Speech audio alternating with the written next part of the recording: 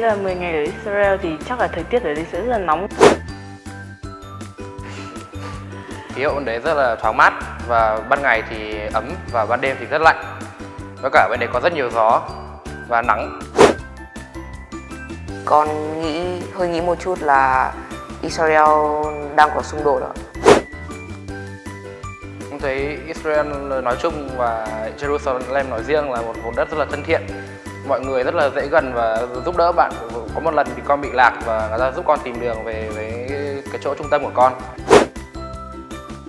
Chắc là suốt ngày phải ở trong phòng thí nghiệm á không không ra ngoài nhiều. Trong một tuần đầu là khoảng từ thứ hai đến thứ sáu của tuần đầu tiên ấy con sẽ đi tham quan biển chết và, và cũng được gặp tổng thống và được gặp một nhà khoa học được giải Nobel. Chắc là chỉ có toàn bạn nam nhiều rồi hiếm khi có có bạn nữ nhưng mà hầu hết là chắc là rất là nhiều bạn nam. Có khoảng 30 bạn nữ 30 bạn nam trên toàn thế giới ấy. các bạn nữ này cũng rất là giỏi các bạn ấy vừa biết đánh đàn vừa biết tạo nhạc vừa, vừa biết đánh trống các bạn có biết trượt ván và chơi bóng rổ. Bạn thể thao giỏi bạn vừa học giỏi vừa chơi thể thao rất tốt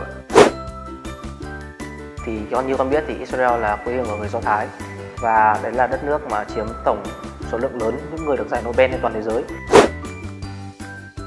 các nhà khoa học ở Israel thì họ rất là dễ gần và thân thiện. Thì cái hôm con gặp tổng thống thì con gặp một ông này và ông ấy đến tự tất cả các thành viên trong cuộc thi và hỏi thăm từng người một. Ông hỏi là bạn đến từ đâu?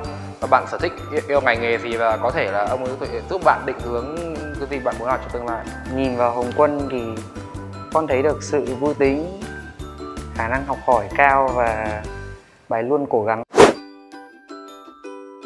Quan trọng nhất là bạn cần phải có sự tự tin bởi vì trước khi tham gia cuộc thi có, có một lúc con đã nghĩ là mình chắc mình không được đâu và mình ngại lắm mình, mình mệt lắm rồi cũng đang lúc đấy đang thi học kỳ rất, rất điểm rồi. Nhưng mà con đã quyết định là không và con sẽ thức khuya và gửi đơn apply cho họ. Và khi thành công thì con rất là vui. Khi mới gặp được các bạn quốc tế thì các bạn nên dành thời gian để làm quen với mọi người và chào hỏi. Vì họ rất thân thiện và họ sẵn sàng gặp làm quen với bạn mới còn khi bạn đã làm quen hết rồi và là bạn tốt của mọi người thì lúc đó hãy bắt đầu tập trung vào làm việc với dự án và cùng với nhóm của bạn.